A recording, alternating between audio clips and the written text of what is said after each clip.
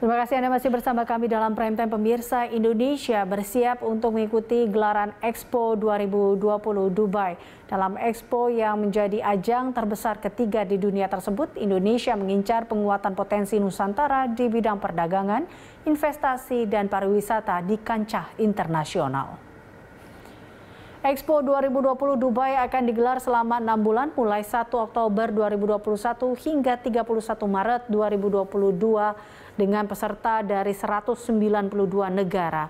Dengan mengusung tema Creating the Futures from Indonesia to the World, inovasi dan warisan Nusantara akan dihadirkan melalui miniatur tanah air yang akan dibangun di lahan seluas 1086 Maksud kami 1.860 meter persegi di Dubai. Pavilion Indonesia akan memamerkan lebih dari 300 produk UMKM siap ekspor, termasuk komoditas, kerajinan tangan, interior, tekstil, hingga fashion. Potensi rempah-rempah, produk turunan berbahan dasar kelapa sawit, dan warisan kuliner juga akan dihadirkan.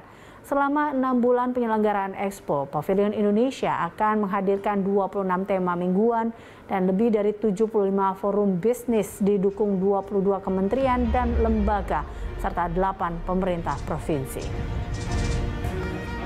Selain potensi perdagangan, partisipasi Indonesia dalam Expo 2020 Dubai juga diharapkan membawa banyak manfaat lain, termasuk menarik peluang investasi dan memperkuat pertumbuhan ekonomi.